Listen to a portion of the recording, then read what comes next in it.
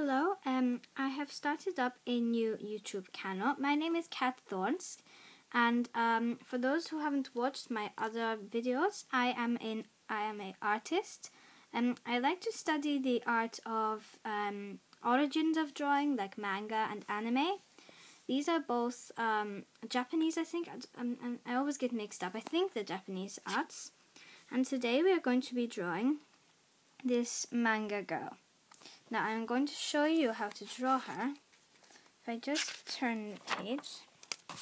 Now, so what we want to start with, uh, let me just, okay, so what we want to start with is just the basic outline for the head. We want to do the chin like that.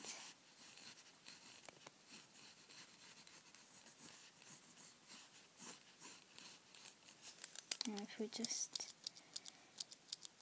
yes. These pencils are a pain sometimes. Okay. Now we want to do a line going down down the waist a very thin line like that. And then a line going across the way but this line has to be thick this time. Okay? Now we want to put in is kind of shaped like that here and then a shape like that here. So it's like that.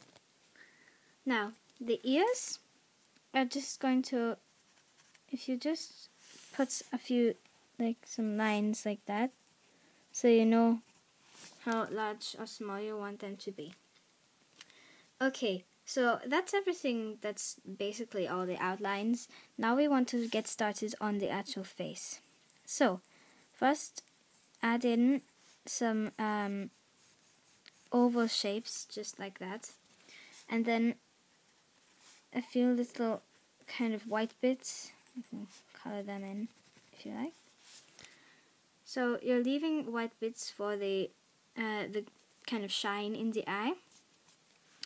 Now, the nose and the mouth, you can just rub this out if you want. That was just down head. Now the nose is going to be just underneath that. And then the mouth is just going to be that with a tiny little thing underneath it. Like so.